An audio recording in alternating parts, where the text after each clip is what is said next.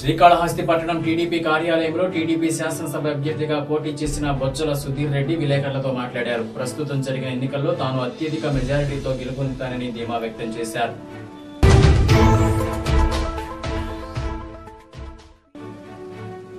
పంచాగుట్టలో అంబేద్కర్ విగ్రహం తొలగించి డంపింగ్ లారీలో జవహర్ నగర్కు తరలిస్తుండగా విషయం తెలుసుకున్న ప్రజా సంఘాలు డంపింగ్ యార్డ్ సమీపంలో హైదరాబాద్ కార్పొరేషన్ లారీని అడ్డుకున్నారు. చెత్త అంబేద్కర్ విగ్రహం చూసిన ప్రజా సంఘాల కార్యకర్తలు ఆందోళన వ్యక్తం చేస్తున్నారు.